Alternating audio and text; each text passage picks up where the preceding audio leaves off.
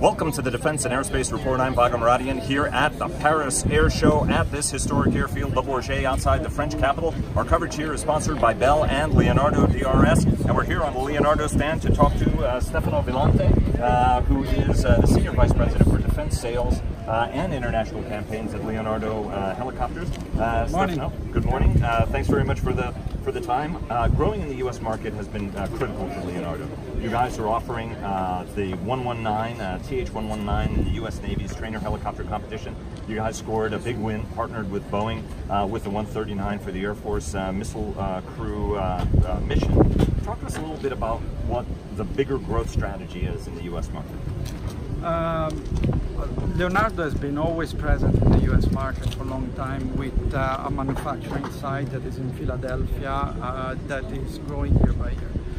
Uh, of course, since last year with a major program uh, that we won with Boeing, uh, the MH139, we uh, are growing our government uh, sales footprint. Uh, and uh, we, I think we see several opportunities uh, with uh, the US DoD. Uh, in particular, the Navy trainer, that for us it's extremely important tender We think we have a very good value proposition, in particular with the TH119.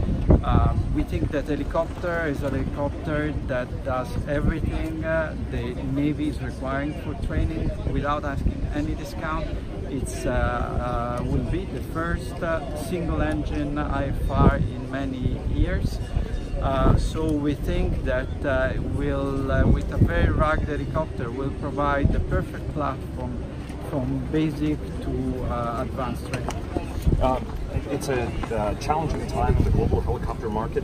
Uh, while military may be going strong, it obviously relies on a lot of commercial orders in order to be able to give you that kind of pricing advantage.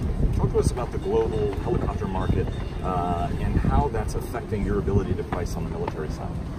Okay, the global helicopter market, if you lose traditional, you see that the commercial business has been traditionally growing in the past decades uh, right now is uh, getting to a halt because what we see is, uh, of course, there are some sectors uh, uh, like oil and gas that have been slow, very slow in the past few years.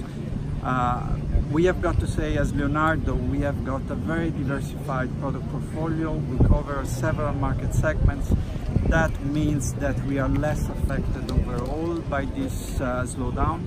Uh, plus, uh, whilst military market traditionally has been decreasing uh, in the range of 3 to 4 percent over the years, uh, it's been always cyclical.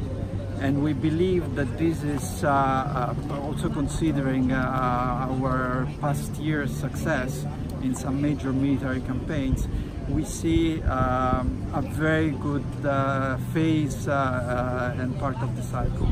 So overall, we think that opportunities are growing and are helping us to improve our products, uh, to tailor made, to tailor for our customer.